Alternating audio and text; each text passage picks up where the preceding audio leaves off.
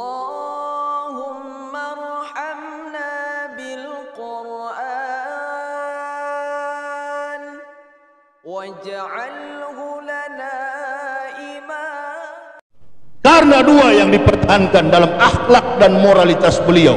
Satu, Nabi itu dikenal sebagai Al-Amin. Jujur. Entah bagaimana Al-Amin Nasution, apa sudah bebas atau belum? Al-Amin apa Ustaz? Al-Amin.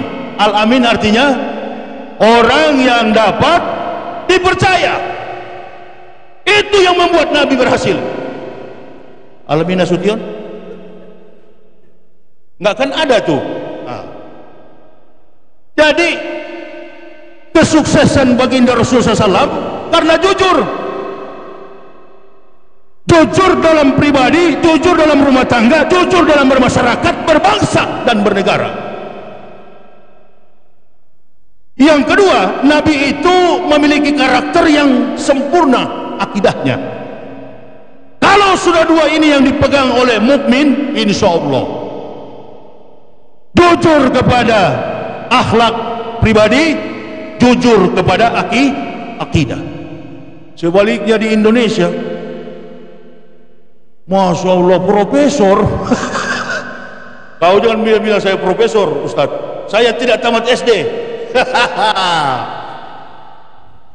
Profesor! Bu Bu Cium tangan Megawati Soekarno Putri. Kiai! Bukan kaleng-kaleng. Ketua Badan Pembinaan ideologi Pancasila. Badan perusak ideologi Pancasila. Semua kita yang hadir di masjid ini cinta kepada Panca Allahu Akbar. Qul amarah Rabbi bil wa aqimu wujuhakum inda kulli masjidil wad'uh muhlisina lahuddin kama ba'da akum ta'udun. Bukan profesor ini. Tahu tentang Pancasila yang saya baca tadi Al-Araf. Kis Kis Kis Kisti Kisti artinya adil. Sila kelima keadilan sosial bagi seluruh rakyat Indonesia. Napasnya adalah agama. Napasnya adalah is Islam. Qul huwallahu ahad. Allahu samad lam yulad wa lam yakun lahu kufuhan ahad sila pertama ketuhanan yang maha esa. Jadi tidak mungkin. Mustahil. Kalau Pancasila musuhnya adalah apalagi agama Islam. Dikaji secara filosofis dikaji secara teologis diletakkan dalam rasi kehidupan sosiokultur. Maka Indonesia meletakkan falsafah negara ini dengan panca Pancasila. Pancasila bukan ideologi. Pancasila adalah falsafah dalam segala aspek implementatif positif dalam kehidupan keberagamaan umat manusia. Jadi kalau profesor seharusnya sudah lebih cerdas. Apalagi rek rektor. Saya juga pernah jadi rektor walaupun cuma 16 tahun pernah. Cuma rektor saya itu men menghasilkan output yang menuntun orang ke neraka. rektor kafir begitu kira-kira ya. Lebih baik mantan rektor kafir daripada rek yang membuat statement memecah belah sesama anak bangsa. Terutama secara spesifik membelah antara kehidupan ukhuwah Islam Islam. Ini bukan persoalan yang gampang. Uh, Allah sudah tahu nih manusia-manusia begini. dan Allah perintahkan dalam Quran surah At-Taubah ayat 73 siapa yang Allah perintahkan Nabi kita Muhammad sallallahu alaihi wasallam ya ayuhan nabiyyu hmm.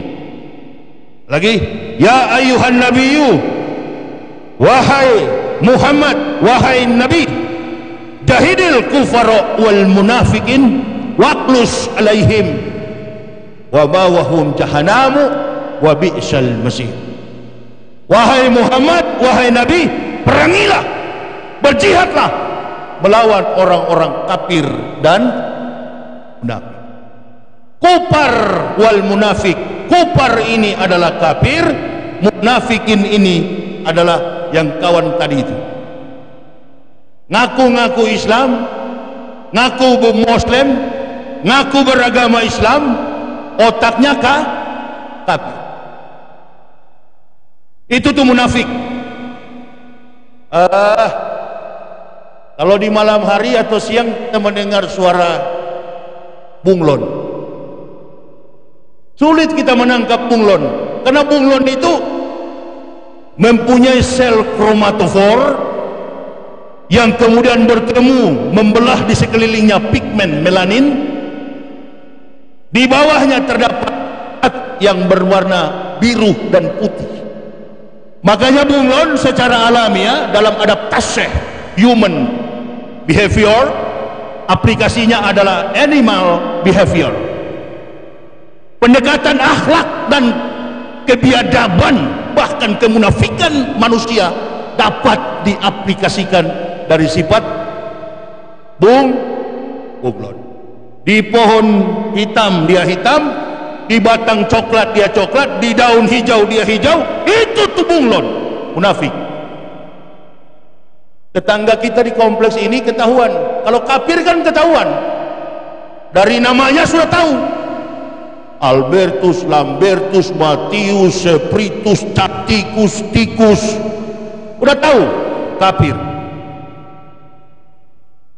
kafir tapi kalau munafik, Allahu Akbar. Bisa jadi ada di antara sini. Makanya kalau ada mampus kau. Ya bukan kaleng-kaleng yang datang ini. Anak Medan, habis kalian. Habis kalian tahan ku hantam. Hah? Bunglon.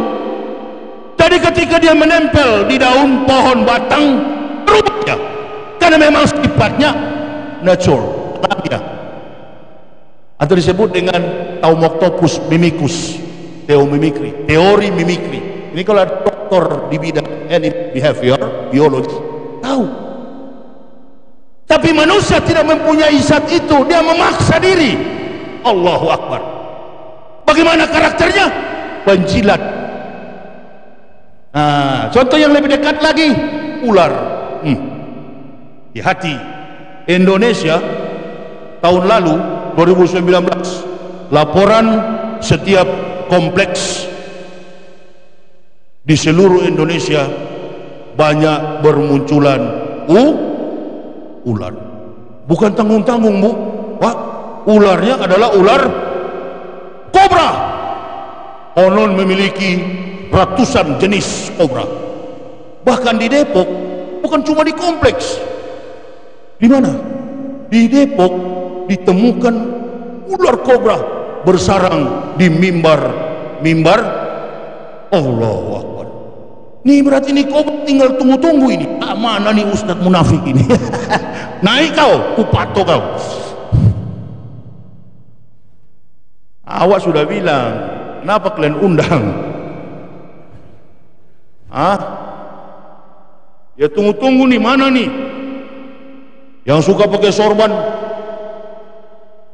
putih di kepala, hadis disampaikan, Quran disampaikan, tafsirnya kocar kacir.